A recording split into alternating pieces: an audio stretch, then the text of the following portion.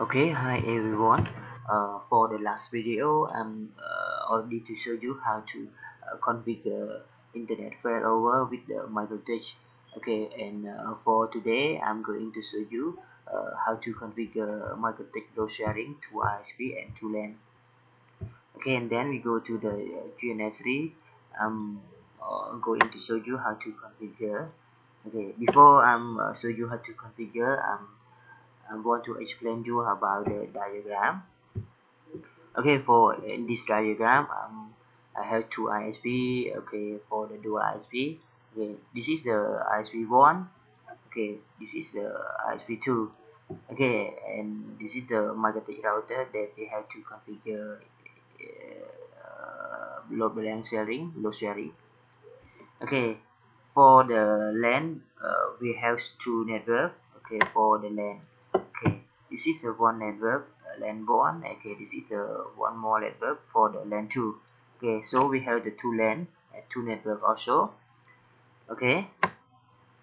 Okay it, it, this is the information that we, we got from the ISP okay ISP1 the public IP gateway and DNS okay for the ISP2 uh, public IP uh, gateway and DNS uh, also okay and uh, in this video um I want to uh, I want to uh, let the LAN order the LAN for this network uh, the traffic uh, go to the ISP1 okay for the LAN 2 the traffic from the this network go to the uh, ISP2 this is the uh, load balance sharing that we have to configure okay for the LAN 1 I have to order the traffic go to the uh, ISP1 and okay for the LAN 2 um uh, I need uh, order the the traffic go to the ISP2 okay?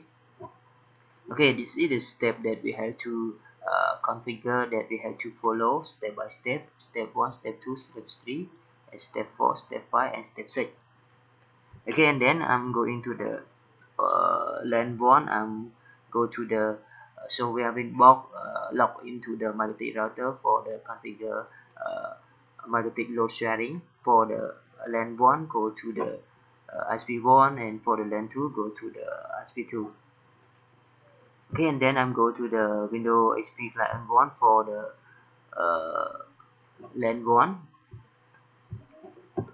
okay this is a window HP1 okay.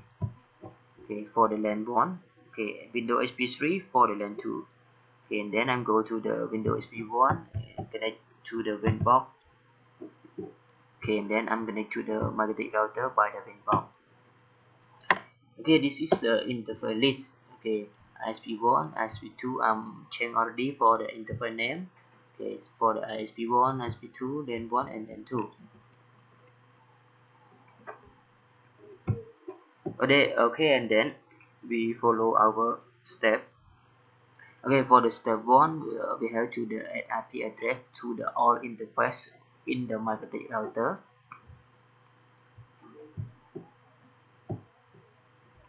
Okay and go to the uh, IP's address for add the IP address to the interface. Okay the first I'm at uh, IP LAN for the LAN 1 okay for the LAN 1 this IP so we follow our diagram okay this is IP internal IP for the LAN 1 okay. Okay and then I'm at for the LAN 2 slash 24 LAN 2 okay this is the for the LAN 2 IP address. Okay and then we add to uh, IP address public IP for the ISP1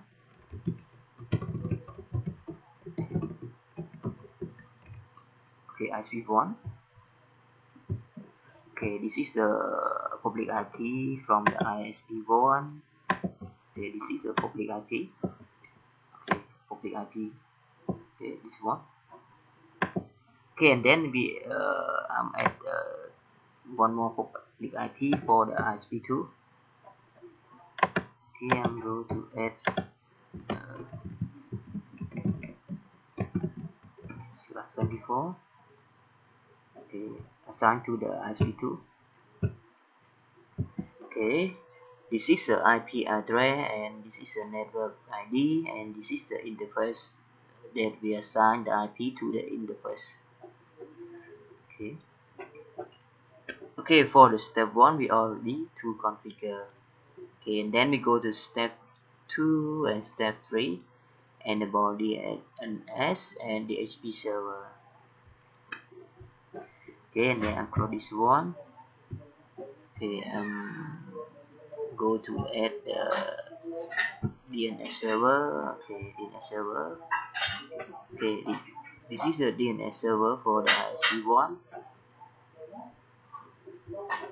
okay sub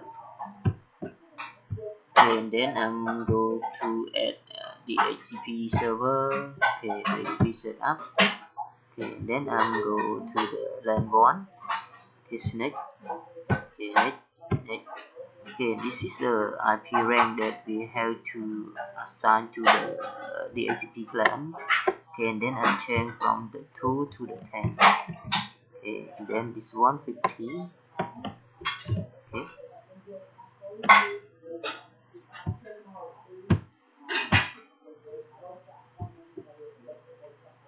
Okay and then I'm add one more for the length 2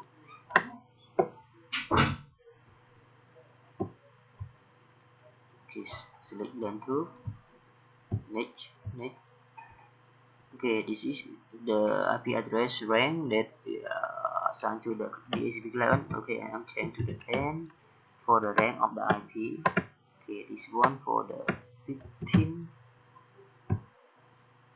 okay next next. Okay the DHCP server we create already for the step 3 okay and then we, we go to the step 4 at before route okay I'm close this one. Okay and then I'm go to the IP IP route. Okay and then I'm at route okay this is a gateway for the ISP1 that we have to put the gateway.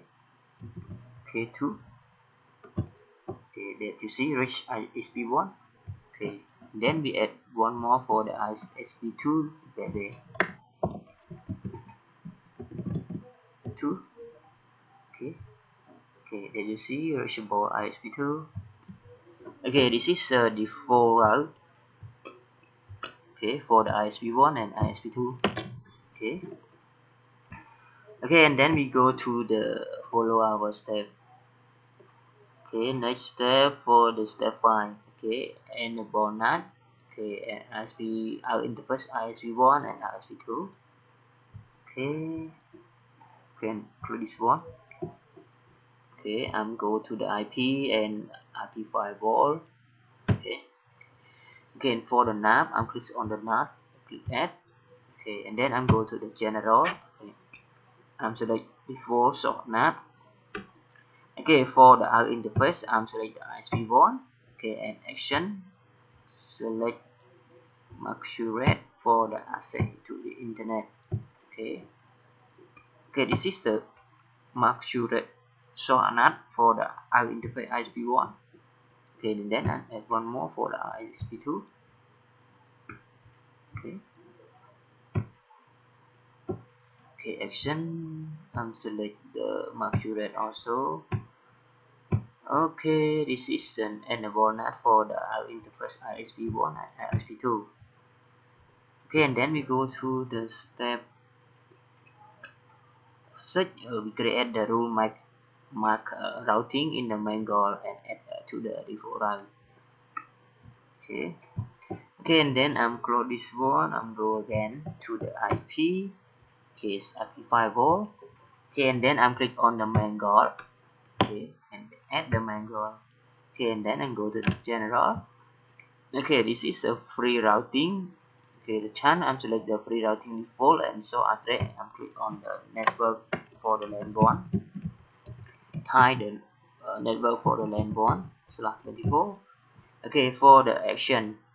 Okay for the action you can click uh, you can choose the mark routing mark routing and the you mark routing you can put the name of the mark routing. Uh, it's up to you. Example for me I'm uh, uh, right or I'm type already for the name. You can put uh, the name.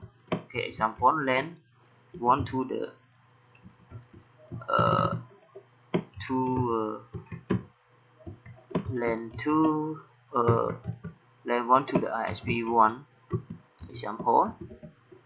Okay you can put its name. Focus on your LAN connection and network LAN to the ISP1 level 2 to, to the ISP2 okay and for me I'm uh, create already okay LAN to the ISP1 and LAN 2 to the ISP2 okay I click this one. Okay. Okay and then I'm add one more for the LAN 2 okay